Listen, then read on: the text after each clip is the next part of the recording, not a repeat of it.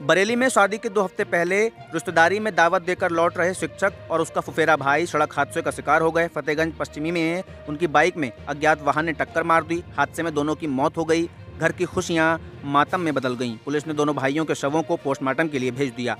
अलीगंज थाना क्षेत्र के गैनी निवासी उनतीस वर्षीय संदीप रूम सिंह शाही के लालपुर प्राथमिक विद्यालय में शिक्षक थे।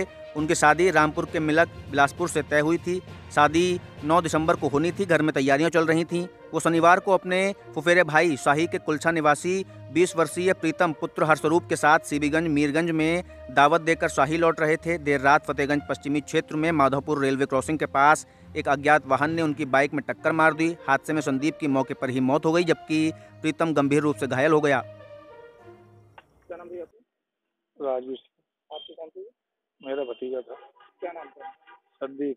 कहाँ जा रहे थे? कैसे घटना हुई वो अपनी शादी दावत देने जा रहे थे और रास्ते में किसी वाहन के द्वारा उनके एक्सीडेंट हो गया जिससे कि वो कहीं गड्ढे में गिर गए। हमको पुलिस के द्वारा लगभग साढ़े बारह बजे सूचना मिली कि ऐसे ऐसे आपके घर का कोई व्यक्ति ऐसे ऐसे गड्ढे में पड़ा है अस्पताल भेज रहे हैं सिद्धि विनायक अस्पताल में लाए तो संदीप की मृत्यु हो चुकी थी।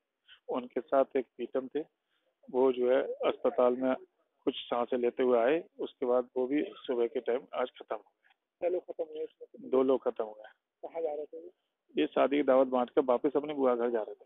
क्या नाम है? हुए। एक का नाम भतीजे का नाम मेरा संदीप है और? संदीप गैनी गाँव पड़ता है अलीगंज थाने में। और प्रीतम जिनका गाँव कुलछा है और थाना साई पड़ता है। हुए। जी। गाड़ी को पता लगा गाड़ी पता नहीं चला। शादी की थी संदीप की 9 दिसंबर की शादी थी। वर्तमान में साई दुनका के पास लालपुर गाँव पड़ता उसमें सहायक अध्यापक के पद पर तैनात था। किस काम से जा रहे थे? शादी की दावत बांटने जी।